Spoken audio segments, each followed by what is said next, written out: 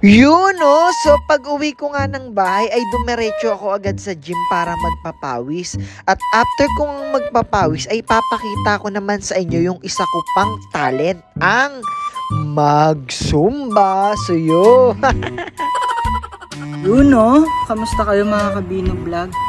So upo muna, pahinga bago tayo pumasok ng bahay para hindi tutuloy yung pawis natin sa sahig kasi baka magalit yung mga kasama natin sa bahay, di ba? Alright. Quality. At after ko nga magpahinga, ay dumiretso na rin ako sa bahay. Tapos, pagdating ko nga ng bahay, ay naligo na rin ako. After ko nga maligo, ay lumabas na rin ako ng bahay kasi pupunta ako sa McDo para tikman yung bago nilang burger at bago nilang pie. Dahil tinatamad akong maglakad, eh sumakay na lang ako ng bus. Total 5 minutes lang naman yun mula dito. At pagbaba ko nga ng bus ay medyo kinabahan ako kasi nakita ko ang dilim-dilim at parang sarado na yung McDonald's dito. Kaya nilapitan ko agad. At ayun nga, nakita ko, grabe, close nga talaga at mukhang nire-renovate. Grabe, epic fail. Sinadya ko pa naman talagang pumunta dito. Putik, epic fail.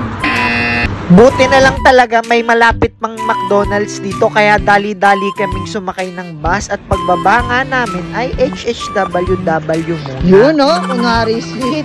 Mamaya away na naman. At dahil naka-red light pa, eh syempre maghihintay muna tayo mag-green light bago tayo tumawid. Kasi ganito ka-disiplinado yung mga tao dito sa Singapore. Di tulad sa Pinas, for sure, nagtatatawid na yan.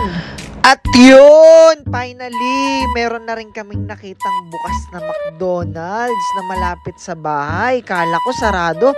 Kung to sarado pa, malamang may balat na sa puwet yung kasama ko. Need ko nang makita mamaya. At eto nga pala yung sinadya namin dito sa McDo, yung bago nilang laksa burger at bago nilang pie.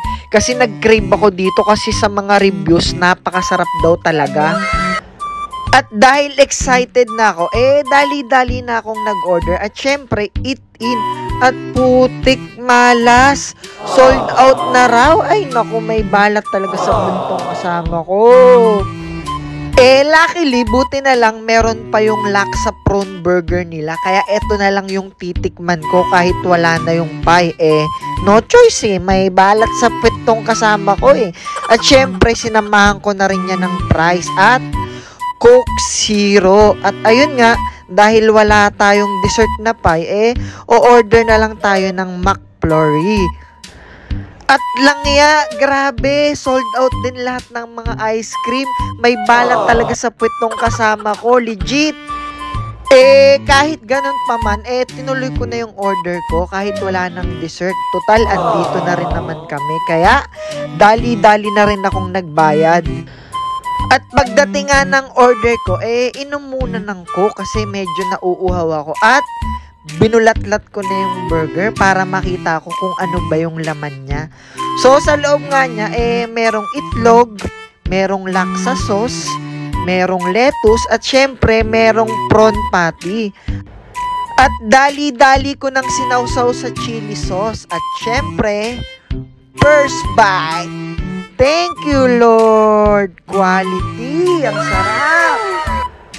Para makasigurado kung masarap ba talaga at kung quality ba talaga yung lasa, eh syempre, second bite muna tayo. Yo, thank you Lord, uli. Syempre, titikman ko rin yung french fries ng McDo kasi masarap din talaga at quality rin talaga yung french fries ng McDo eh. At ayun nga, inalok ko rin ng french fries yung nagbibideo. At ayun, pabebe, ayaw pa. Eh di ako na lang. Pero ilang minuto lang hindi rin siya nakatiis at nanghingi din sa akin. Oh, eto para sa iyo darling. Oh, price, quality. Eh, sweet din naman pala. You know, last bite. Thank you, Lord, sa lahat ng mga blessings araw-araw. Quality, hindi ako nagsisi kahit ang daming kamalasan ang nangyari. At syempre, after ko nga kumain, eh niligpit ko na yung pinagkainan ko at dinerecho ko na doon sa tamang lalagyan or tamang basurahan. Kasi ganito dito sa Singapore, kain mo, itapon mo. At dahil medyo nabitin, eh may pa-take out pa nga. Kaya hanggang dito na lang. Salamat sa panonood!